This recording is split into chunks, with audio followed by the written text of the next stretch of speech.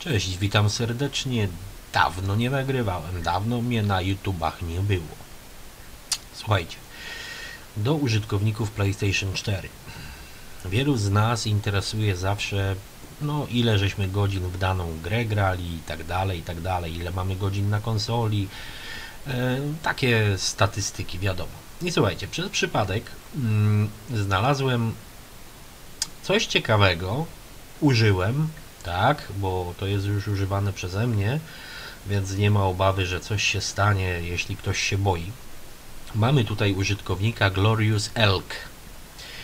E, jest to bot. To jest bot. E, I abyśmy mieli swoje statystyki, ile mamy trofeów, ile mamy godzin na konsoli, ile mamy mm, e, na przykład w danej grze, ile sesji i tak dalej, i tak dalej. Dodajemy sobie Glorious Elk do znajomych.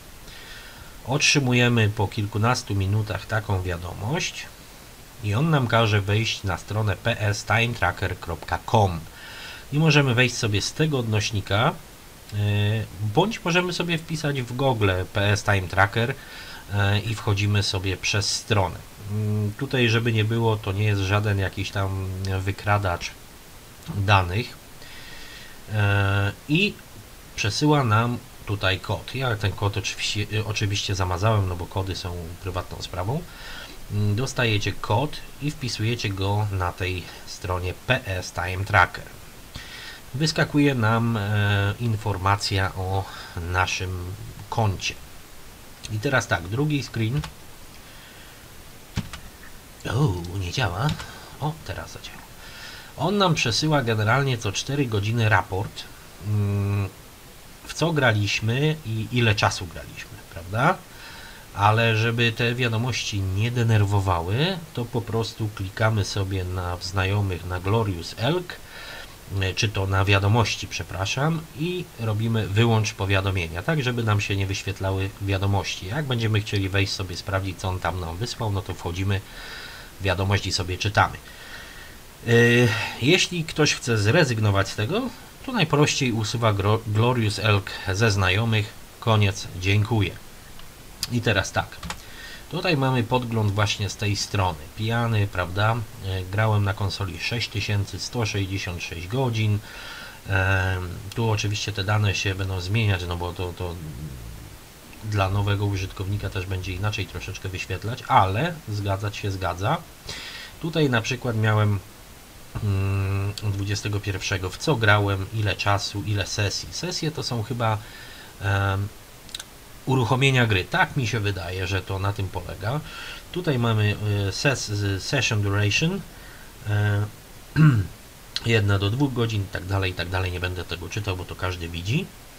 Tu mamy e, detale sesji i tu mamy oficjalne statystyki PlayStation Network, tak?